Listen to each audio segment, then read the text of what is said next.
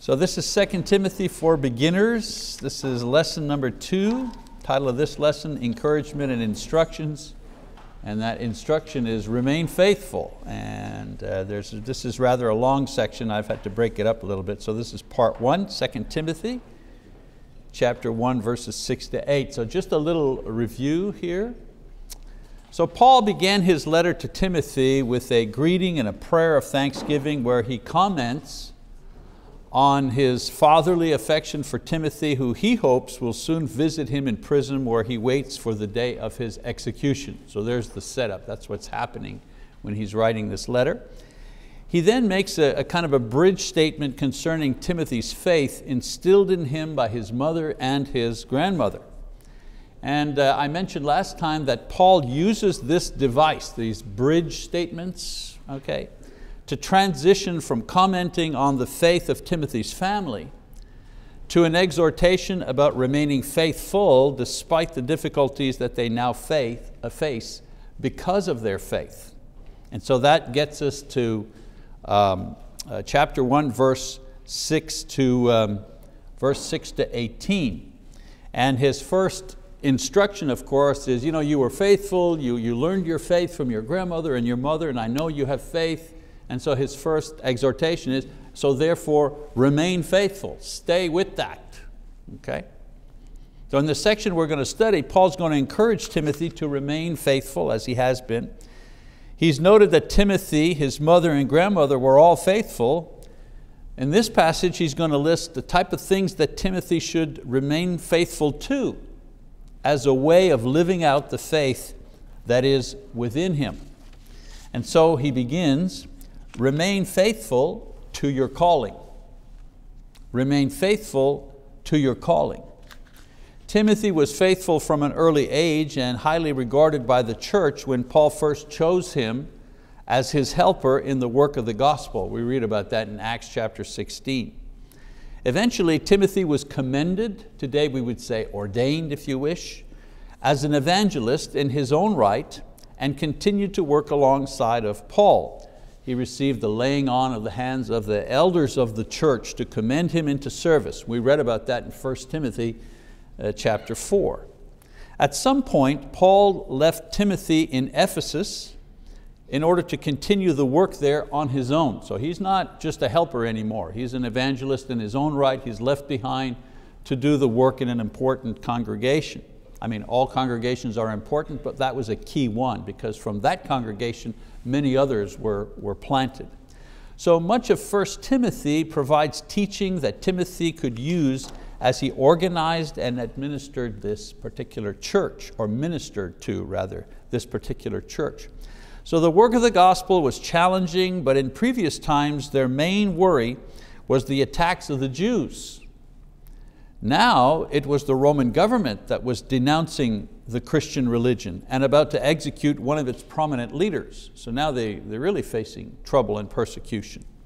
This sent a chill through the churches and especially high profile leaders like apostles and ministers like Timothy and Mark and Titus now was not the time to shrink back and keep a low profile.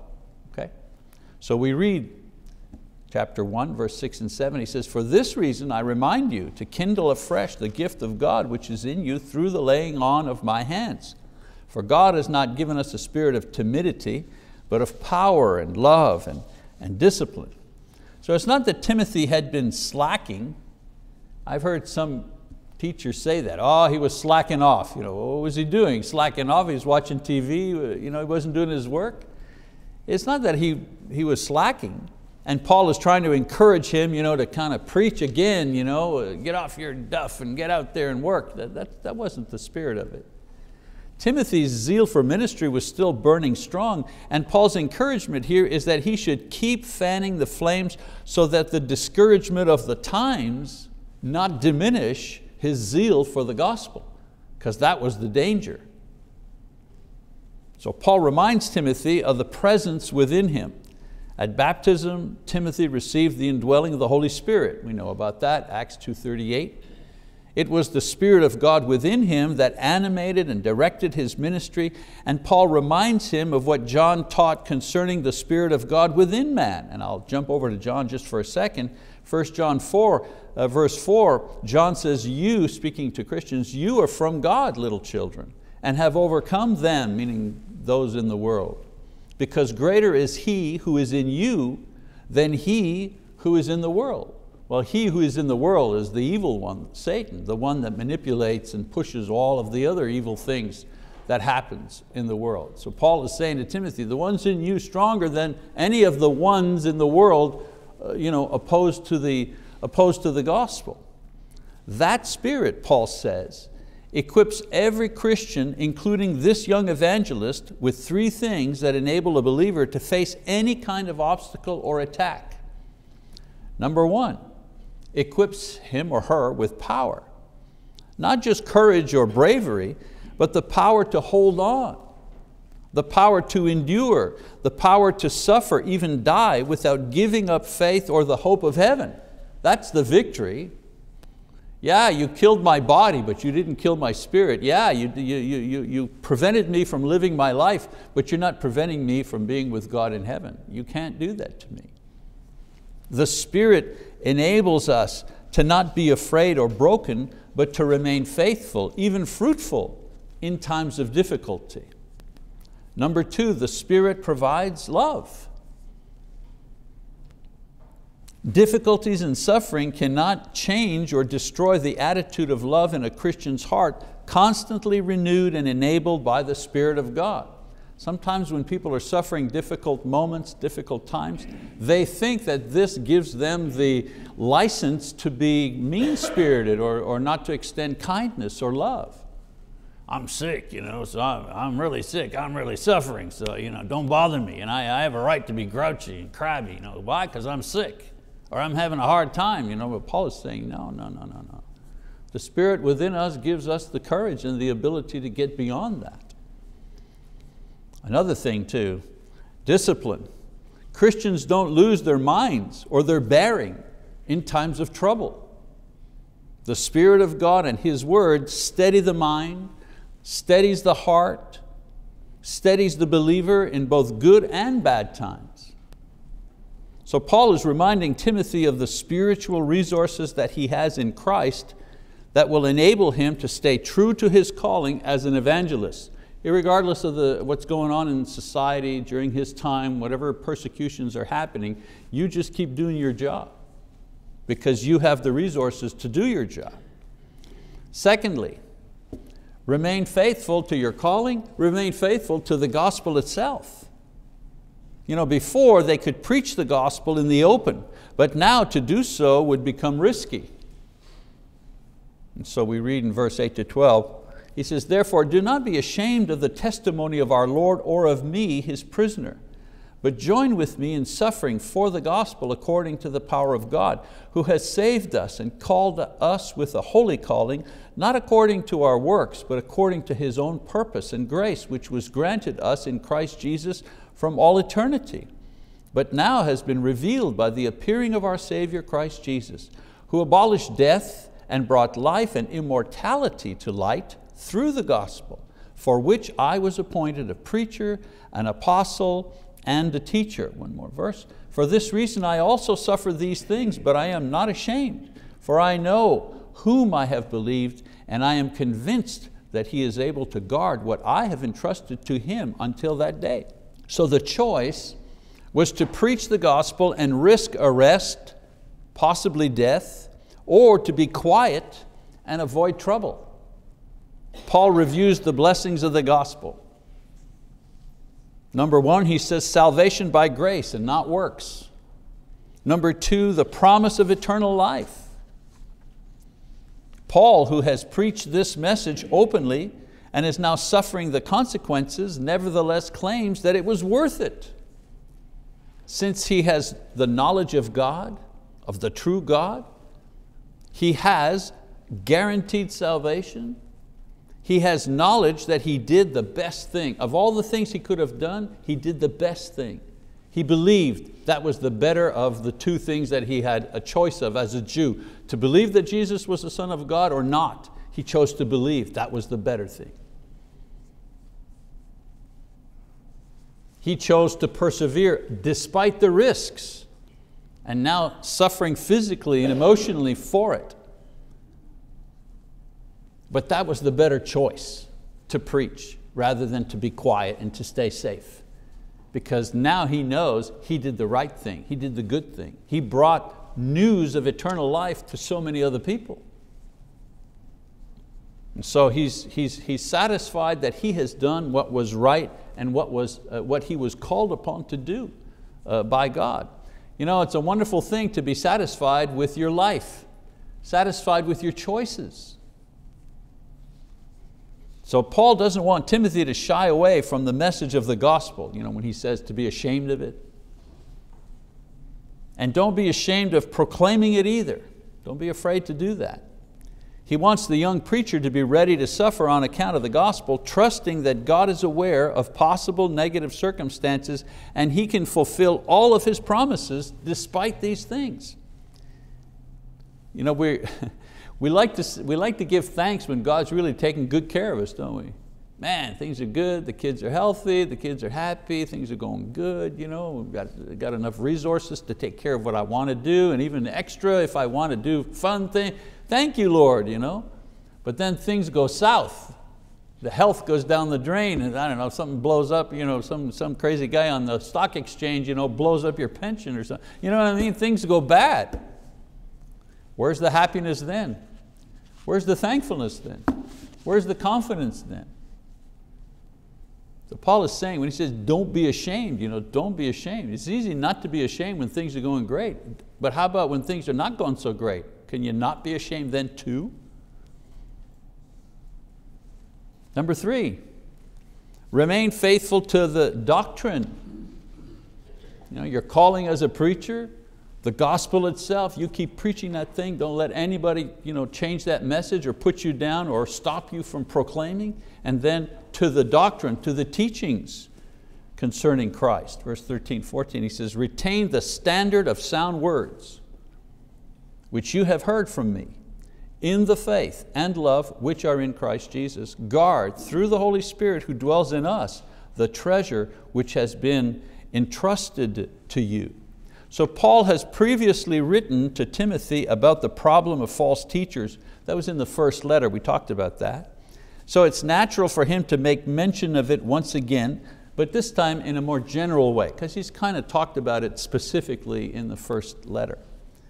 Paul not only taught Timothy the gospel as well as the other teachings of Jesus, he also modeled the way that these things were to be taught. So the standard or the pattern of sound words are the inspired teachings themselves. That's the standard, God's standard, the pattern, the way things are taught, and the conclusions that you arrive as you teach these things. Okay faith and love in Christ are the way or the manner that these things were taught and applied and lived out. So you've got the doctrine, the standard of sound words, and what the doctrine produces, faith, love, you know, peace, patience. You know. So Timothy was to maintain and repeat in his ministry the content and manner of teaching and living that he had been taught and modeled by Paul, his teacher and his mentor. Paul was about to be executed and Timothy was to carry on Paul's ministry of preaching, teaching, and church establishment after the apostle is gone. So this would require that Timothy guard the essential message of the gospel given to him by Paul so that he could pass it on unchanged to the next generation. Remember, at this time, the gospels were not complete. Today, you know, we, we encourage the next generation, you know, hang on to the book, don't get away from the book, you stay in the book, don't change anything, don't add anything, we got everything we need right here. You know, that, that's our message to the next generation. But in those days, they didn't have the, well, they had the Old Testament obviously, but they didn't have all of the New Testament. So it was very important for Timothy in this case, as a practical matter, you, you do it exactly as I taught you. You teach it exactly as I taught you the words, the, the attitude, the conclusions, right? Again, Paul refers to the Holy Spirit as the one who will enable Timothy to maintain the purity of the message and the manner in which it is to be preached. Now, as a normal sinful human being, Timothy could not do this. But through the Holy Spirit, to guide and inspire him, Timothy would be able to keep this charge. That's what Paul is saying here. The Spirit will help you to do this. Just like Jesus told the apostles, you know, that, that, they'll receive the Spirit and, and He will bring them into remembrance of all things. I think we talked about this a couple of lessons back. You know, I have trouble remembering you know, three weeks ago the title of my sermon, let alone what was in it. I'd have to go back to the notes. So can you imagine three years of teaching by Jesus that you have to remember and teach accurately? You need help. so, so Paul is saying to Timothy, you'll need help. And don't worry, you know, the Spirit will help you to, to keep this very important charge. Um, in the first century, before inspired writings were completed and collected into the New Testament canon, that was done, canon means you know, the, the prescribed number of, not number, but the ones that belong or fit, you know, a measurement. Uh, before the, the, the books of the New Testament were put into the canon, um, AD 397, Council of Carthage uh, is a kind of historical date there. Many in the church had spiritual gifts that enabled them to speak and teach and apply God's word accurately. Today, that's called education. Today, that's called going to school. Today, that's called going to college or being taught or trained to do it. And you memorize it and you study it and you, you write exams and the professors say, yeah, this is, this is correct, but your conclusion doesn't match this passage. You know, that, that's the process of learning. In those days, they didn't have that. I mean, they, they had one teaching others and so on and so forth, but some had the natural ability, God-given spiritual ability to know and to teach accurately God's word. In other words, what ministers and Bible teachers at every level do today based on their education and training in God's word, these same people in the first century carried out these things through the agency of the Holy Spirit. Now unfortunately, there are some people today who think that that still exists, and it doesn't. They begin their, their, their lesson or their prayer with, the Spirit spoke to me, and I, I've received a message from the Spirit, and the Spirit is saying to the church, yeah, no. Yeah. My response to that, never mind what the Spirit said to you, tell me what this said to you. I just want to read along with you where you got the inspiration to say what you've got to say. If you can't give me the chapter and verse, then I'm sorry. I'll listen respectfully, but you, are saying the Spirit said to me does not equal inspiration. That equals opinion in, in, in, my, in my mind. And I believe what the Bible teaches according to that. These things, as I say, through the agency of the Holy Spirit, again, I'm going to jump out of 2 Timothy, go to 1 Corinthians here where Paul talks about this very thing. He says, now there are varieties of gifts, but the same Spirit, and there are varieties of ministries, and the same Lord. There are varieties of effects, but the same God who works in all things in all persons. But to each one is given a manifest, the manifestation of the Spirit for the common good. So, you know, to minister to the church. The Spirit in those days was giving to different individuals different gifts. He says, for to one is given the word of wisdom through the Spirit. Well, what is that? The ability to apply the word of God, the ability to apply the teachings of Christ in actual situations accurately. And to another, the word of knowledge according to the same Spirit. Well, what knowledge? Well, the knowledge from God. You know, spiritual knowledge, inspired knowledge to another faith by the same Spirit, to another gifts of healing by the same Spirit, and to another the effecting of miracles, and to another prophecy, and to another the distinguishing of spirits, to another various kinds of tongues, and to another the interpretation of tongues. But one and the same Spirit works all these things, distributing to each one individually just as He wills. So you see the, uh, the different gifts that uh, Paul talks about that existed in the first century. Not all the gifts were given to the same person. Some people could speak in tongues. In other words, they could speak in languages that they had never learned. Others had the ability to interpret those languages into a language that everybody knew. Because there are other instructions in 1 Corinthians you know, where Paul is saying, if, if, if one of you is speaking in tongues, but there's no one to interpret, the guy who's speaking in tongues is wasting his time. I mean, I'm paraphrasing here, should sit down and be quiet. Unless there's someone to interpret so that everybody can be uh, edified, there's no use to what, you're, to what you were doing. So there were rules in the way that you used these things in the first century. So to be sure, Timothy had a part to play in both keeping himself pure and following carefully the things he had been taught by Paul, but if he followed the lead and prompting of the Holy Spirit, he, like Paul, would be a faithful minister to the end. The Spirit, in the same way that he gave gifts to these people, would give gifts to Timothy and help him do his work uh, as a minister.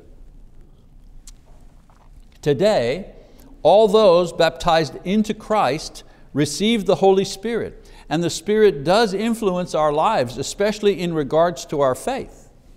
However, in Romans chapter 8, Paul says that the Spirit does the following, and these things remain today. These gifts here, these miraculous gifts, they ceased uh, you know, uh, in the apostolic age. Because once the Bible was completed, uh, we didn't need these gifts anymore. We could, we could use this. This replaced all of these gifts. These were only temporary. And Paul says in 1 Corinthians that these gifts were only temporary. Okay? And so in Romans chapter 8, for example, Paul says the Spirit helps us put to death the deeds of the flesh, meaning He helps us overcome sin. Romans 8, 13. Not going to read all the passages, just to show you some of the things that the Spirit helps us with today. Also, He helps us who are flesh relate to our Heavenly Father who is pure spirit. Think about that for a second. Somebody comes, well, someone we know a little bit, uh, uh, our uh, brother from Kenya, Jeffrey Karima, he comes here. He's from a complete other culture. He's from an African culture, right? And when you talk to him, he talks about how things go on in his country. Wow, it's awfully different. He speaks English, but boy, you have to pay attention, right? You, you almost need somebody to translate for him because his accent is thick and, you know, and we're, we're having trouble, but he's a, he's a human being, he's a man, he's a Christian. You'd think we could really relate easily to each other, and yet we have to really pay attention. Can you imagine how hard it is to relate to someone who is a pure spirit? Not human, pure spirit.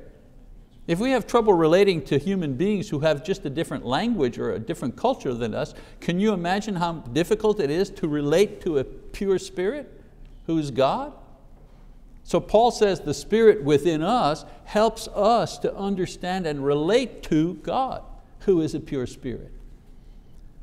He says He helps us to produce spiritual fruit. He helps us connect with God in prayer. And God will raise us from the dead, how? Through the power of the Holy Spirit who dwells within us, Romans 8, verse uh, 11. So is it important that the Spirit be within you? Well, absolutely. I mean, for all these reasons, but especially for the last one I mentioned there. Paul says that it is through the power of the Spirit that dwells within us that God raises us from the dead. You know, the, the, the, argument that it's, uh, you know, baptism is not necessary for salvation, and of course Paul's not talking about that here, it's out of context, but I mention this you know, in regards to these gifts.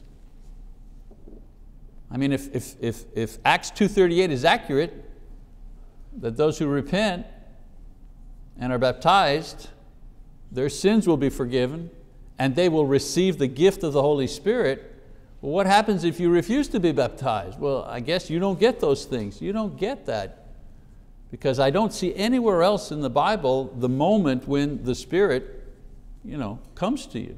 So all of these teachings are very important, very basic, very important, and they all are linked together with all the other teachings, especially that Paul uh, has done.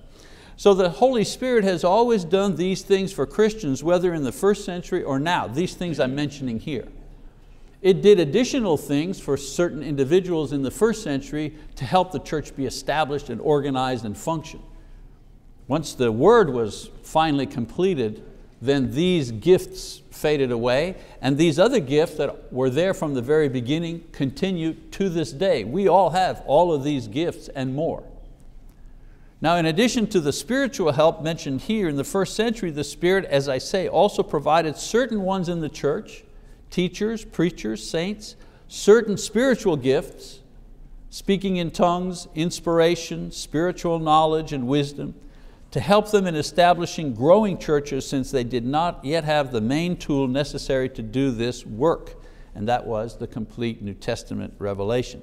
So today the Spirit continues to bless us in the ways I listed from Romans 8, but no longer provides miraculous gifts. We no longer have the gift of inspiration and tongues and spiritual wisdom and knowledge directly given by God because for almost 18 centuries we have had access to this. Okay? So what a few of them knew and taught from inspiration and spiritually guided wisdom then Everyone now can know and teach from God's word available to everyone. So my point with all of this is that Paul, as an apostle, had, among other gifts, the spiritual gift of inspiration. What he wrote was inspired by God. He had one of those gifts. Well, he had several of them, but he had that one, that's for sure. Even Peter the apostle recognized that this gift uh, was possessed by Paul. Again, we'll jump out of the Second Timothy and go this time to Second Peter. Peter says, therefore beloved, since you look for these things, be diligent to be found uh, by Him in peace, spotless and blameless, and regard the patience of our Lord as salvation, just as also our beloved brother Paul, according to the wisdom given to him. Whoops, what, wisdom? Who, there's, there's that gift there, okay?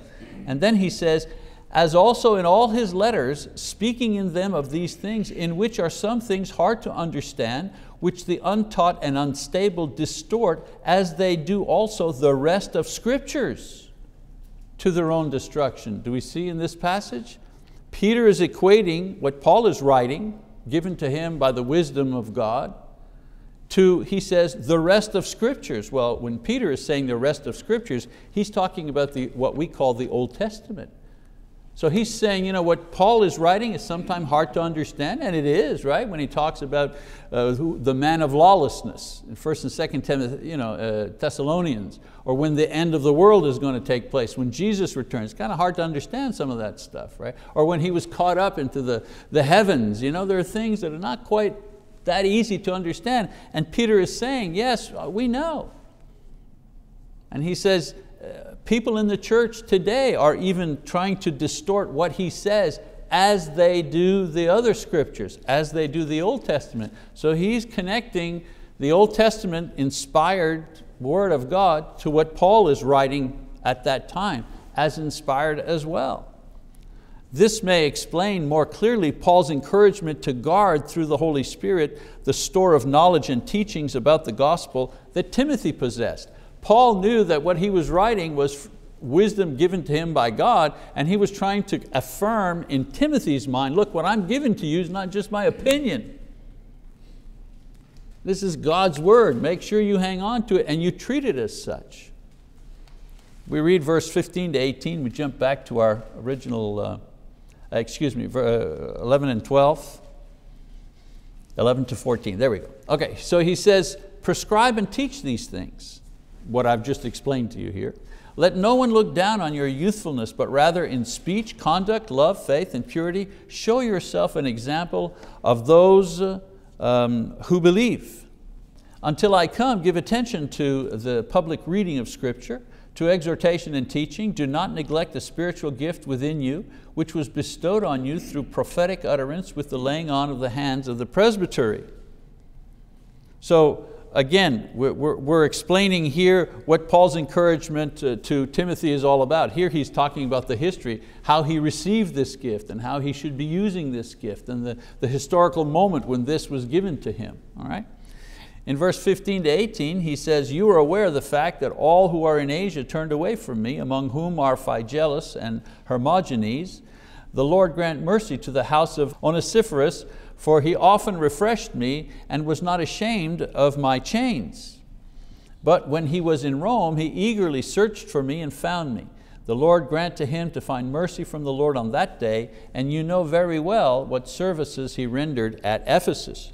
So Paul breaks his line of thought concerning various instructions you know, and encouragements by citing two examples. These, uh, here we go, these two, Phygelus and Hermogenes. Paul likely tried to encourage various leaders from the churches in Asia Minor which that's where um, Ephesus was, and Col the church at Colossae, that was in Asia Minor.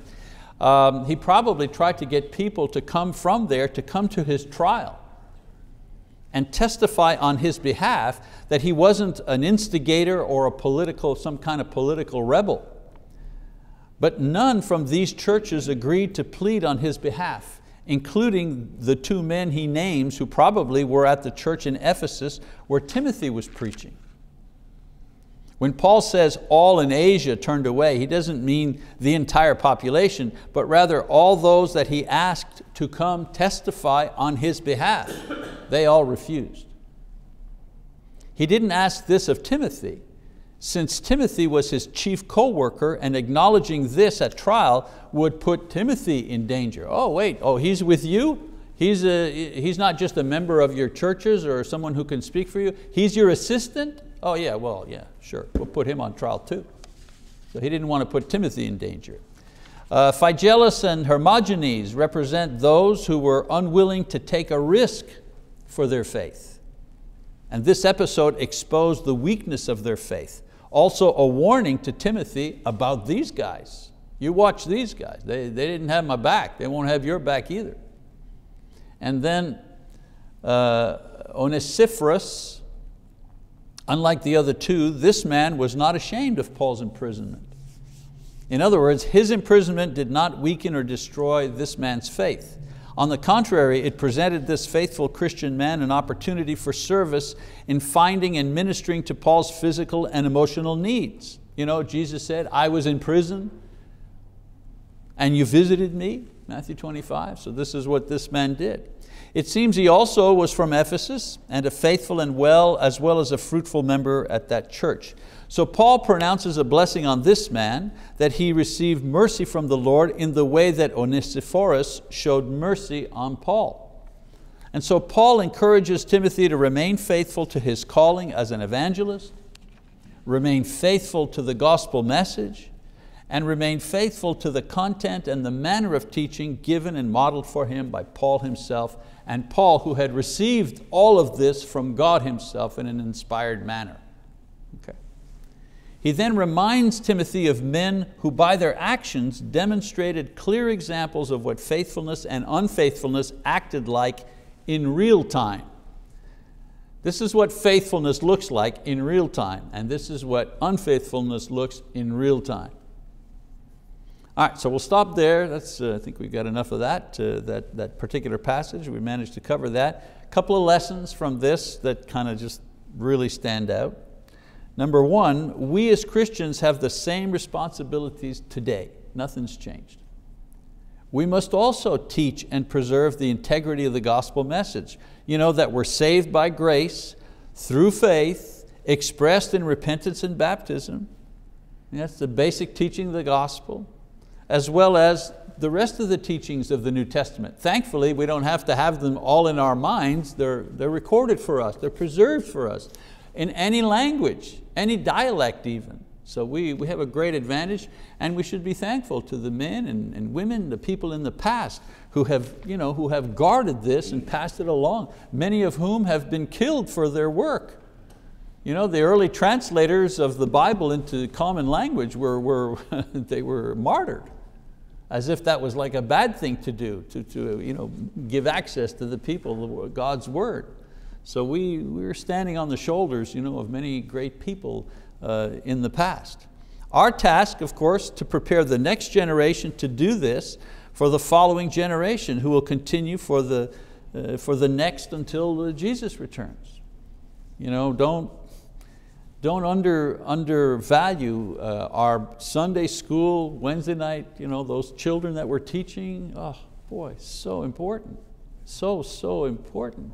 The people that work in that, you know, quiet, quietly you know, labor for years and years in, the, in these areas, and sometimes you don't think, you don't think you're doing anything. You know, that little rascal in the corner there, never paying attention, jumping up and down in his seat like he's got ants in his pants, you know, uh, you know, crazy teenager in the, in the youth group, and all of a sudden, that's the guy that wants to be a missionary. and you ask him why, and he says, I don't know, there's just something, you know, I don't know. I love the church. Why? Well, he loves the people who taught him in church from an early age. From an early age, he, she, you know, has been taught God's word. And so many of you in this room are, are part of that. You know. Very, very important. We're not responsible for the body of Christ throughout the world, but we are responsible for the Choctaw area. That's our responsibility. This generation is directly responsible for the next generation. Whether or not this congregation is faithful in God's word and deed in the year 2040 is being decided and worked out now by us as we prepare the next generation of Christians to lead and preserve this congregation's faithfulness and service.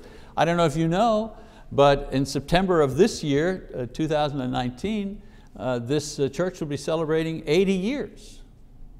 80 years this congregation has stood well in, you know, in town, but you know, has been formed, 80 years. 80 years, no, no split. I mean, if you, if you were to take a record of, of all the congregations, that's, that's quite, a, quite a task. And uh, you know, I say, I give uh, credit to uh, the, uh, those who serve as elders in this congregation for the many, many years that it's been here. No split, this church is united, moving forward, it's a marvelous thing. Lesson number two, God will test us. The only way we can determine if our faith is weak or strong is through testing. We never know when or how, but we can be sure that it will happen. Just like the test of the men named by Paul in verse 15 and 16. Will you come and, will you come and stand for me at my trial? Uh, well, I, wait, I, that's harvest season. I don't know, you know I, I, got a, I think I got a business trip. I don't know if I can do that. You know? Will you stand and serve as a deacon or would you serve as an elder? Well, you know, awfully busy at work. You know. Same thing. A test is a test. God comes to us and says, you ready to step up? And a lot of times we say, well, you know, I don't think so. He's not going to throw us away. He, he, he won't send us to hell because of that. He is so good that he'll, he'll wait us out. He'll wait for us a couple of more years or whatever and say, you ready now? Would you like to, could you step up now? The key to passing the test is to realize that our faith is being examined. When a crisis or challenges, a challenge appears, it's not really about health or money, it's not really about justice or fairness, it's not really about success or failure. When Christians face crisis or challenge, it's always about faith, always. Is it weak or strong? Is it ignorant or enlightened? We pass the test of faith when we go to God for help or understanding or strength or strategy or just plain old endurance. I'm not winning this battle, Lord. The only thing I can ask you now is just help me stay in the game. Just help me stay in the game, that's all.